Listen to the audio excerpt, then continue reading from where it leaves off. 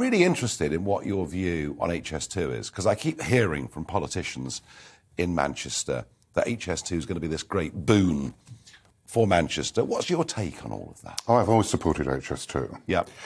It's both about capacity, getting people, more people, uh, between the major centres in this country, uh, and it's also about speed.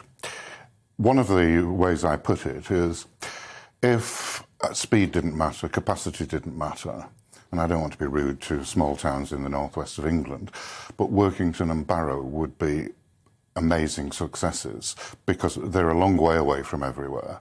And most places in the world believe that connectivity, whether it's by air or mm. rail, is important. They want to be near other big centres so people can trade, do business, whatever. So I think HS2 okay. is, an, is, a, is a no-brainer. I worry about the cost of it and I worry whether it yeah. could drive business. It's expensive. And I wonder whether it could drive it the other way. But, is it, no, I, but I want to get your take on it because it does seem that Manchester really wants this. Yeah. And, and and, and, and, it is expensive. Yeah. But it's likely to last for 100 years. Our current rail system has been there for nearly 200 years. You can tell that some days, can't you? you, you can.